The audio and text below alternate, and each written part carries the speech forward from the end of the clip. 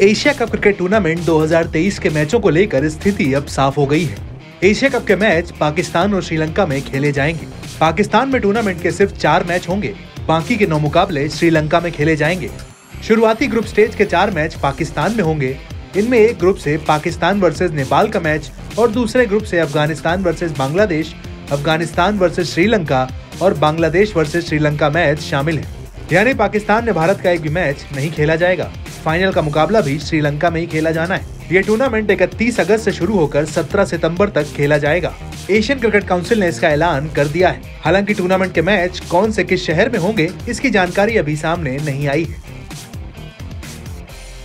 श्रीलंका में group stage से Bharat versus Pakistan और भारत वर्सेस नेपाल मैच खेले जाएँगे।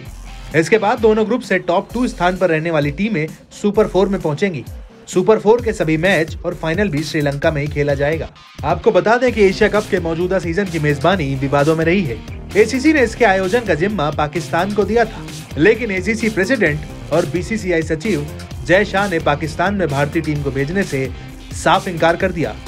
ऐसे में पाकिस्तान ने वर्ल्ड कप में टीम भेजने से इनकार कर दिया था। हालाँकि बाद में पाकिस्तान ने टूर्नामेंट को हाइब्रिड मॉडल पर कराने का प्रस्ताव भी दिया था। हाइब्रिड मॉडल के मुताबिक भारत के मैच पाकिस्तान के अलावा किसी और देश में करा दिए जाएँ और टूर्नामेंट के बाकी मैच पाकिस्तान में ही हों।